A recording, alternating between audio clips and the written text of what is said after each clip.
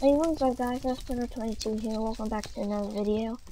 Um, and today I'm gonna show you something. Not in Skyblock, I, I just happened to be in Skyblock when I did it. I reached Hypixel level 69. Let's go. Hey, so yeah, um, pretty much it. I hit a really important level to get Hypixel level 69 and um, yeah. Uh, uh, by the way, I also just woke up like a few minutes ago. So sorry if my voice sounds not that enthusiastic. I think that's the word for it. Yeah. Also, I'm blowing up, uh, or not blowing up, I'm killing creepers to get some gunpowder to craft a creeper minion so I can unlock my my 10th minion slot because I'm trying to farm for the golem sword. So yeah, if you guys have any extra iron or tips I should use, then please let me know. Um, please smash like. We hit a really good milestone, okay?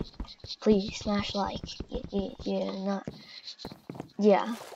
Um. Uh oh.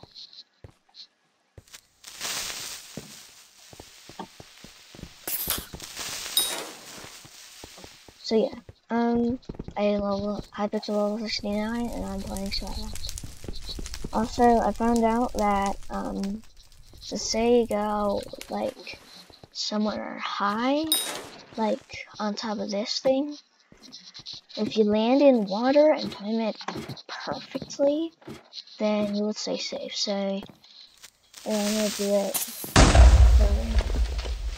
here. No damage Well, not a lot damage taken. It like reduces it. So this time I'm gonna do it like that. And again, no damage taken. Barely any damage taken. There's still some damage taken, but it wasn't a lot. It does indeed reduce your thing It doesn't reduce it, it reduce your damage. So yeah, I'll just practice doing this to get in the mines. If you hear the water sound, that means it worked.